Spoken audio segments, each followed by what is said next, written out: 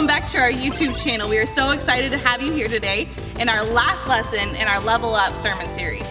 We're gonna jump right into worship with a song called Amen by Micah Tyler. Sing with us.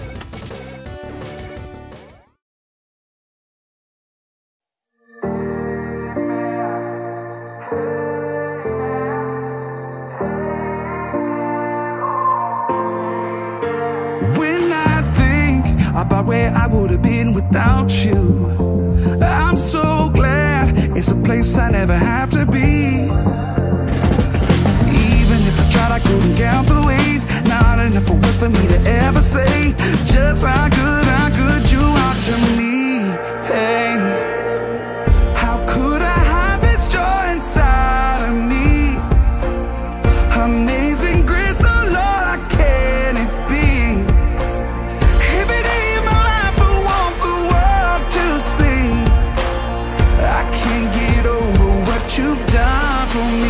Got me singing like Amen. Amen. Amen. Oh, amen. What you did has given me a hope forever. And what you do has shown me you will never leave. Oh, even if I tried, I couldn't count the ways. Not enough of words for me to ever say just how good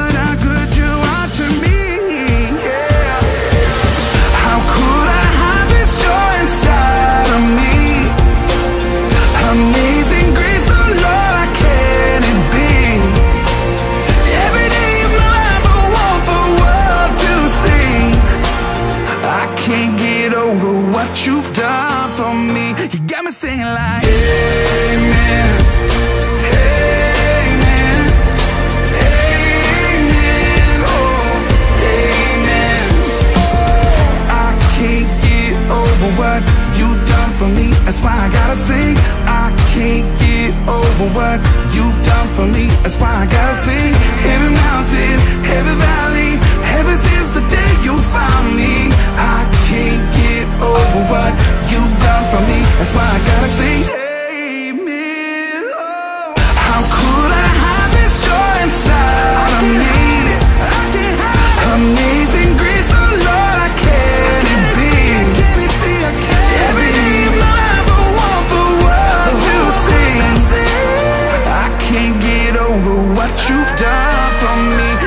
Singing like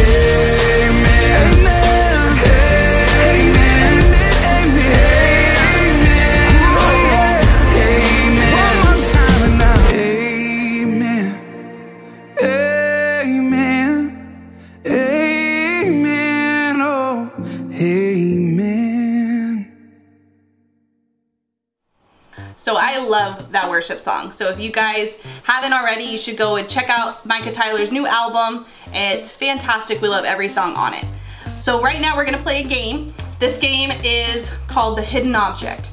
So we have a bunch of objects in our mystery box. We have a little sign, we have a camera lens, we have an Elvis duck, some sunglasses, a headband, a thing, flowers, a frog, a mask, and a screwdriver and a pen.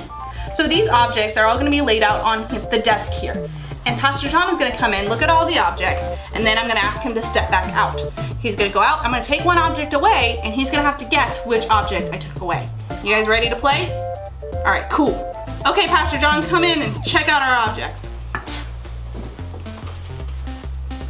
Whoa, this looks like a bunch of fun stuff. It sure is.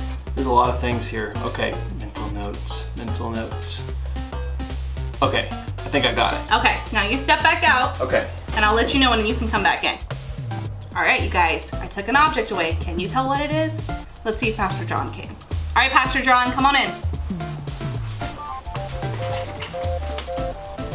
I'm gonna win.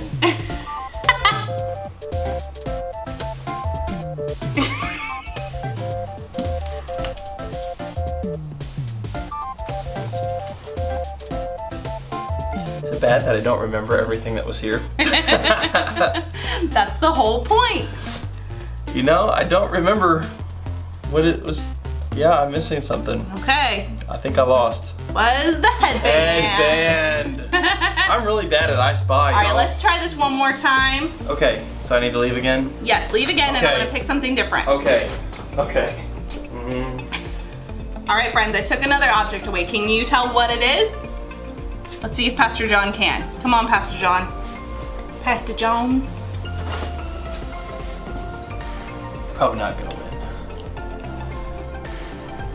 This time, the pin is gone. The pin is gone. Woohoo! That is correct. The pin. Okay, Pastor John, one more time. One more This time. is our Okay. last time Okay. to play. Okay. Okay. Okay, friends. So this time, what we're gonna do is we're gonna keep all of the objects on the table and just see if Pastor John can tell which object is missing now.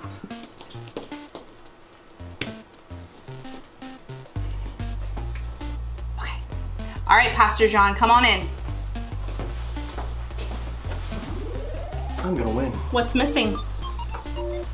Hmm.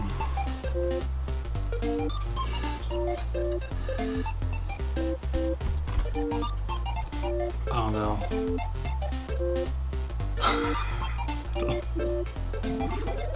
don't know. Don't know again. You don't remember? No. don't know. What's missing? Well, hold on, hold on, hold on. Don't tell me. No, seriously, I don't remember. Okay. Well, actually, nothing is missing this time. and the point is, is that sometimes we go looking for things that aren't there, and sometimes it's all it's been there the entire time. It's been in front of our oh. face the entire time. It was right there in front of my face. All of it. All right, guys, let's jump into the lesson. You ready?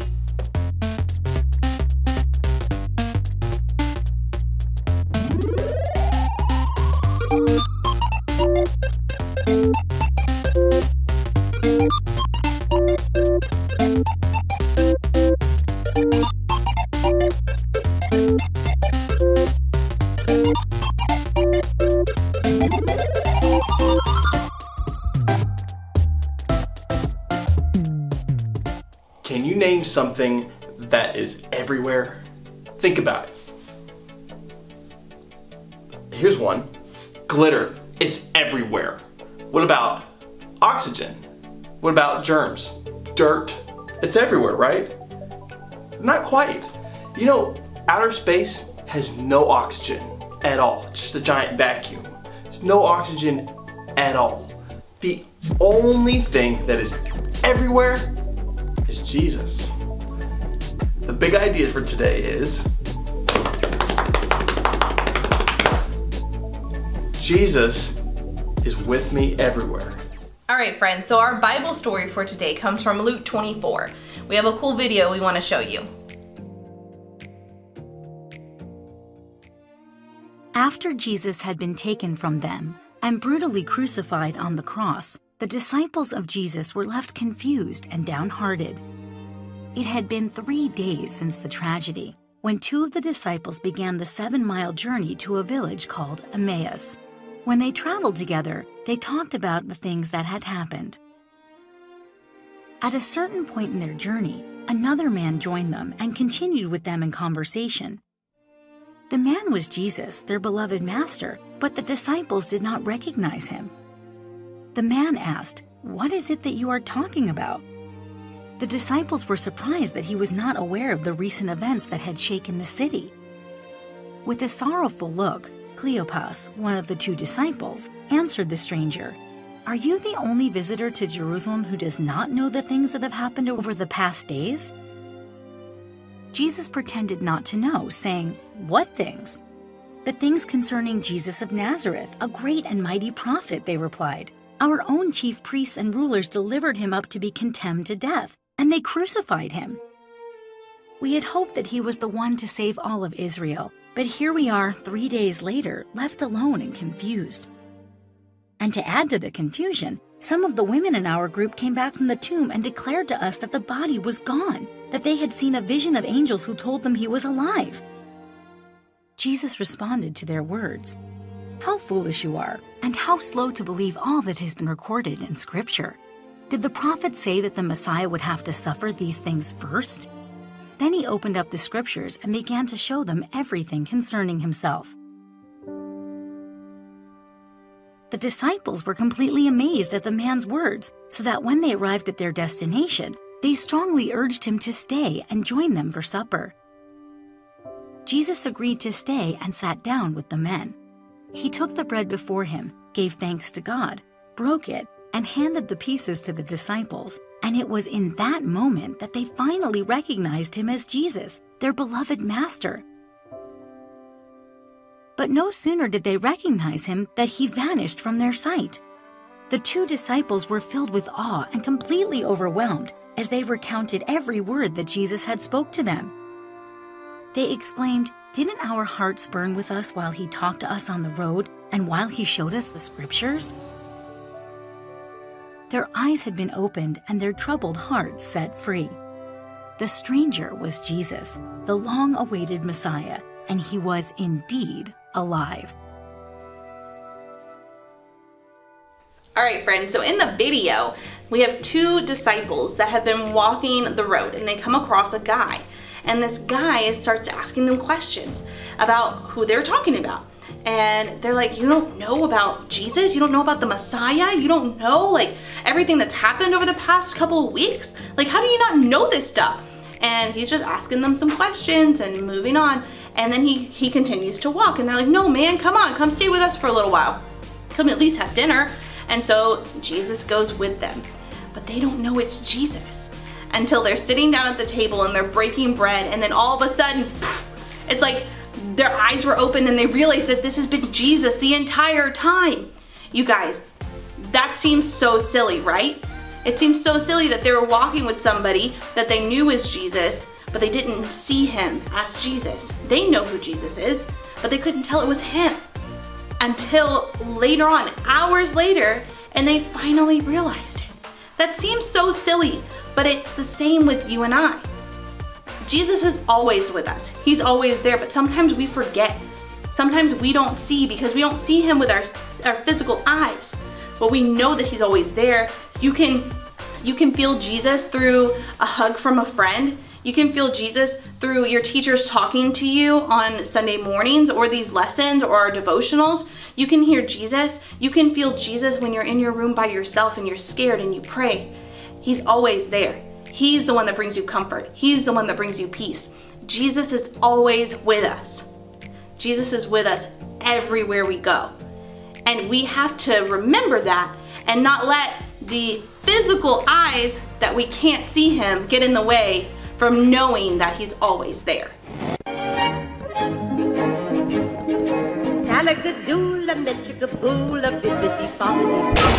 You ever played a video game where you have to collect coins? Like Super Mario Brothers or rings in Sonic the Hedgehog.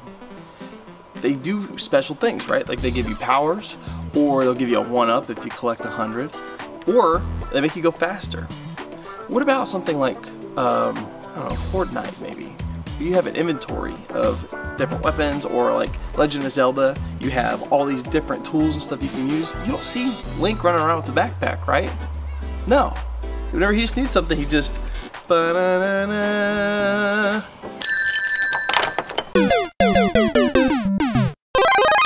Anyways, just like we don't see the items collecting in a character's pocket, we don't see Jesus everywhere. But just like the items in our character's pocket, we trust that Jesus is everywhere with us. So, are there things that you've heard of that exist that you can't see? Like your brain? Everybody says you have a brain, use your brain, right? Have you ever seen your brain? I've never seen my brain. What about oxygen? You have to breathe it all the time, right? But look really hard. Focus, focus. Can you see it? Can you see it? No, you can't see oxygen. You can't see it. So, but how do you know it exists, right? You can read about it in your science textbook, or you can hear stories about people who may have done brain surgery. That's crazy, right? I don't want to see somebody's brain. Just FYI, I don't. But just like these things, even though we know they exist but we can't see them, Jesus is here with us, even though we can't see him. Have you seen Jesus? No, neither have I, but I've experienced him. I know when he's here. I can read about him in the Bible, and he comforts me when I'm scared or upset. So in Psalm 139, verse 7, it says, Where can I go to escape your spirit? Where can I flee from your presence? If I go up to heaven, you are there. If I make my bed in Sheol, you are there. If I live at the eastern horizons or settle in the western limits, or even or even there, your hand will lead me. Your right hand will hold on to me. We cannot escape the presence of God, no matter what. Jesus is omnipotent. That means he is everywhere at one time.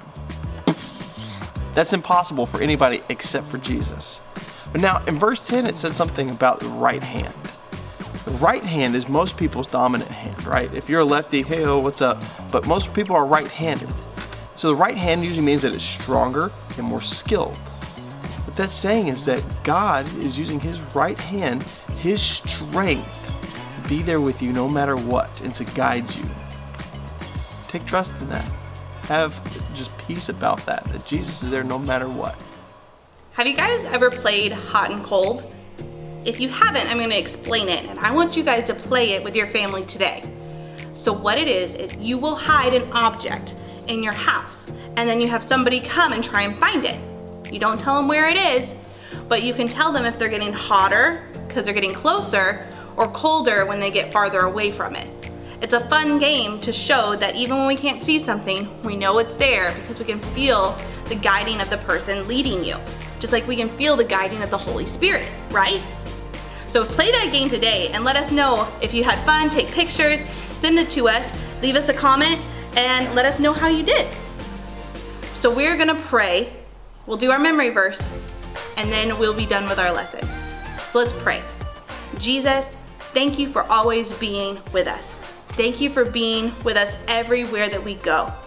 We are so blessed to know that you are always by our side and that you hold us with your right hand, that we have no fear we have no reason to worry. We have no reason to be anxious because we know that you are always with us wherever we go.